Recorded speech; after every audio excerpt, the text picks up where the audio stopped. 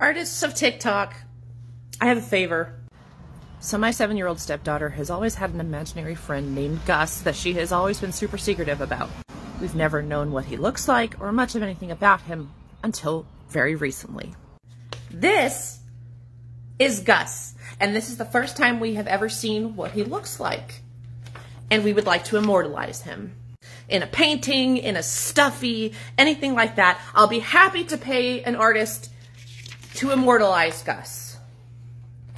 It's a good picture of him, his mouth there and his eyes, and he's got a shirt with his name on it. He's a green dragon, lizard looking thing. So I will pay you to immortalize Gus.